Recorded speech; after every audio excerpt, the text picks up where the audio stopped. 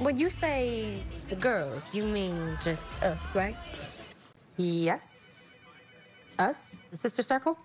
Right. I mean, but you know, some of the members think that the sister circle is open to new members. Oh, are we talking about she who shall not be named? Oh, come on, Karen. And what's wrong with Fatima? Fatima! Hey, thanks for coming. I hope it's okay that I came. Thank you. Absolutely, the more the merrier. You know what's pretty crazy about the uh, mid-season finale is that most of the debate and discussion that I've seen in regards to the episode drama pertain more to the invitation that Danni extended to Fatima to the mocktail party than the DNA. I think at this point, I mean, there really is nothing left to say. The DNA results have been revealed, and Zac is the father of one of the twins. So at this point, what else is there to say?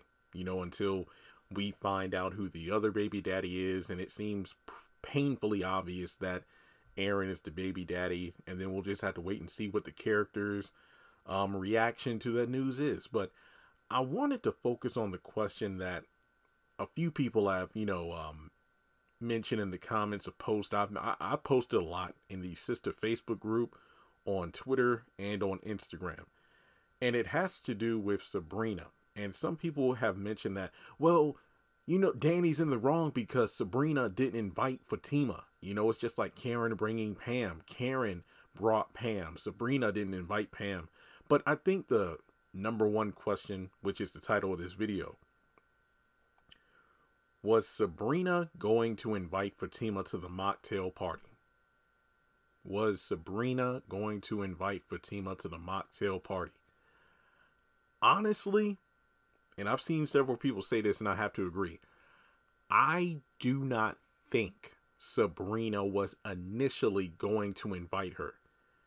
And if you go to the reaction, basically when Danni had shown up to the uh, juice bar, Sabrina was already there with her rich. So once Sabrina and Danni were sitting down, when Fatima came through the door, Sabrina had genuine surprise in her voice when Fatima came in. So that kind of confirms that Sabrina did not contact Fatima about the party. So you got to go back to towards the beginning of the episode when Sabrina called Karen telling her about the mocktail. Sabrina said, "Oh, well I'm going to message the other girls to let her uh, to let them know." And that's when Karen all of a sudden mentioned um you know, when you say the girls, you mean just us because there are other members of the sister circle that think we're extending our membership. Now, if we go further back into the season, I want to say episode two or three. I forgot the exact episode, but it was the episode where the girls have their uh, boozy brunch, and Fatima was in attendance. And then when she got back, Zac was like, "Oh, so how was brunch?" And do you think the only reason they invited you was because Karen said she couldn't come? Which somewhat implies that there have been a number of other occasions over the past three months where Andi, Sabrina, and Danni have called up Fatima to hang out with them because for whatever reason, Karen wasn't available. Maybe she had a doctor's appointment for the baby. Maybe she was just too busy working on the salon or, you know, something to that effect. So I am willing to believe that Sabrina was initially only going to invite Karen, Andi, and Danni to this um, mocktail party.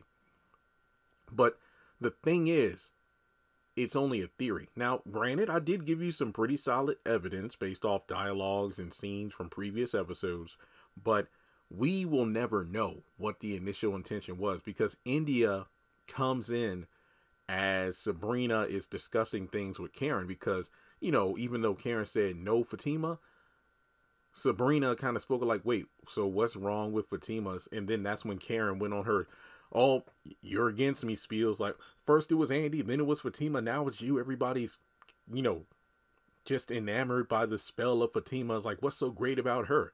And Sabrina had no problems. Like, well, well, what's the problem with Fatima? Karen, the more the merrier, you know? But ironically enough, that's the same thing she said when Fatima came in because Fatima was like, I hope it isn't a problem that I came. Oh, no, girl, the more the merrier. Come on, let's have some fun.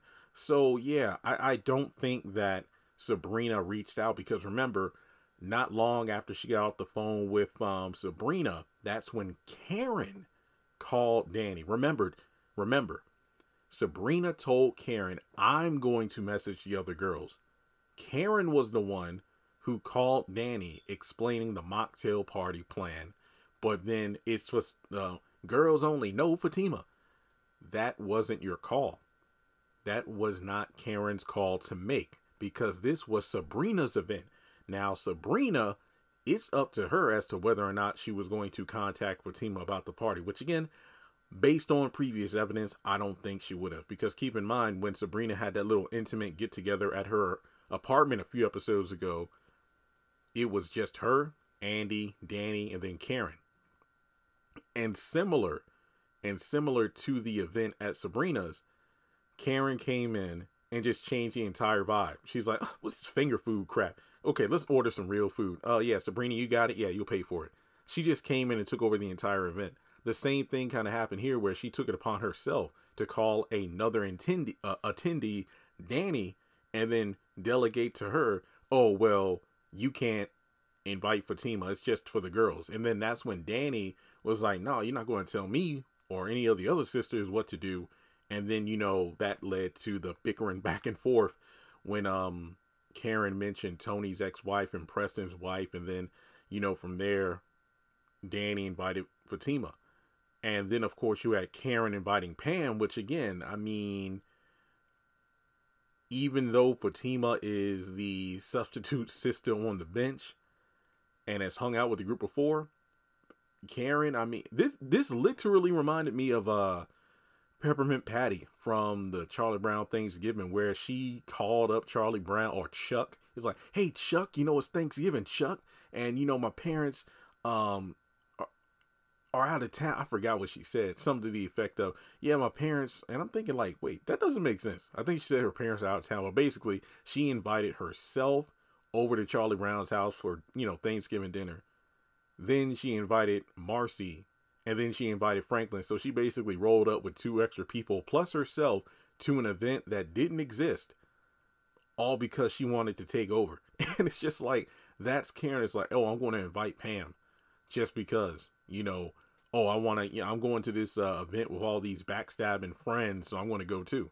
So it's just weird to me that that's how things went down because Karen decided to take it upon herself to contact um, Danni. You know, I'm I'm surprised. I'm surprised that she didn't call Andi.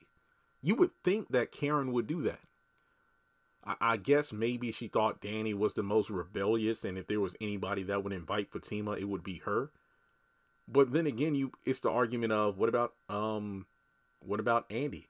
Because Andi wasn't shown on screen being contacted about the, about the uh, mocktail party. But when Andi showed up, she was genuinely surprised that Fatima was there. And Fatima, you know, mentioned like with everything going on at the office, you know, with Marie and Hayden, she just didn't have a chance to mention that, oh, well, you know, Danni invited me. Plus, she did mention uh, when Andi was like, wait, we could have just rode together. We'll see, you know, uh, in case some drama pops off I just want to leave, you know, so I don't want to ruin the dynamic if, you know, Karen comes in with some BS. But even before that, you have Zac who brought Fatima lunch. And, you know, when Danni made the call, but, you know, Zac was kind of pushing Fatima to go to the event because, again, she didn't want to go because she knew she already knew what it was in regards to like, look, if Karen's there and I'm there, it's just going to be some BS and I don't want to deal with that.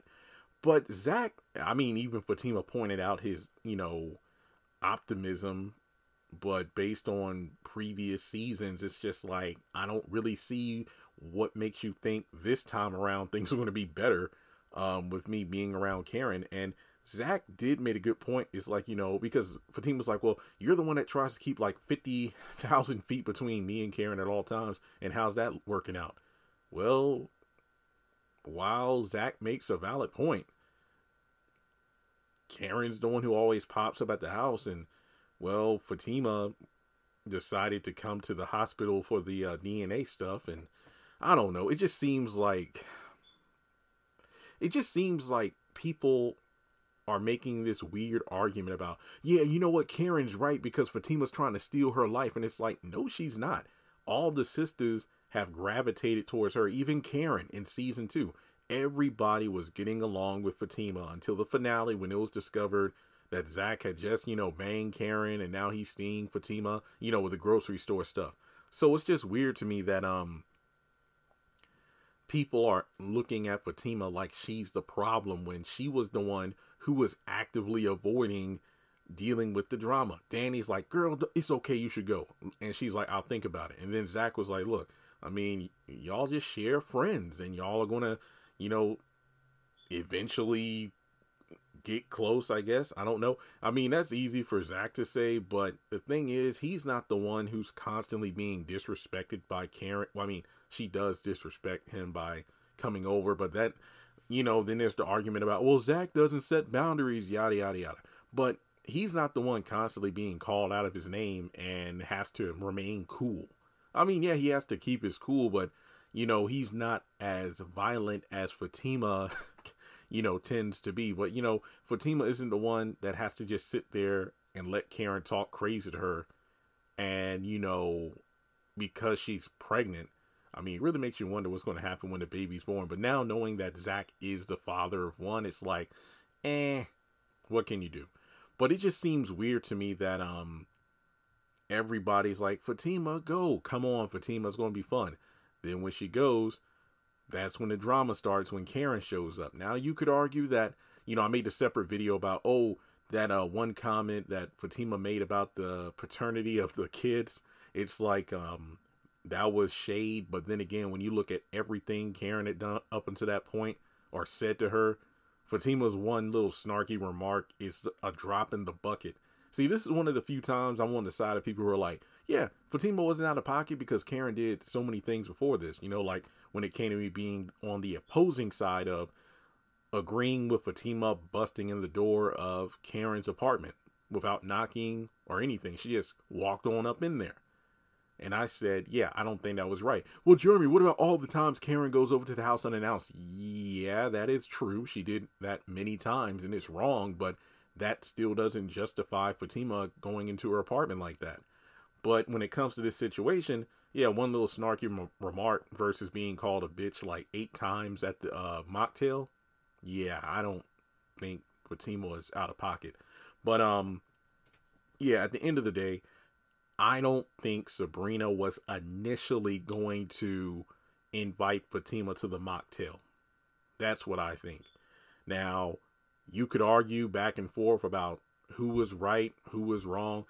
Danni has every right to invite Fatima. No, Danni was being messy, so she invited Fatima just because it was her way of proving to Karen she can't tell her what to do. And yeah, I still wonder why in the world did Karen not contact Andi?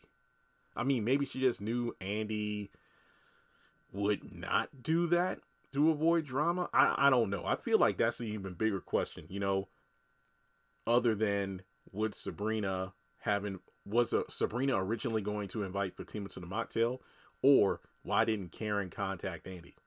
It's one of those things. So, um, with that being said, let me know your thoughts in the comment section below. Like and subscribe, and I'll catch you in the next video.